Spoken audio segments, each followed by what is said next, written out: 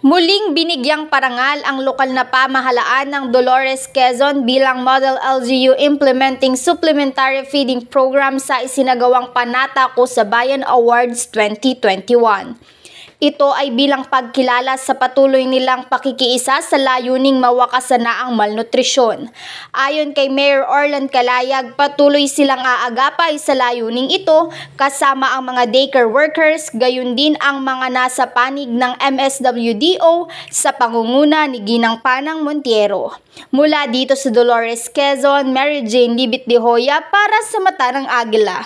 Matatag, matapang, matapat.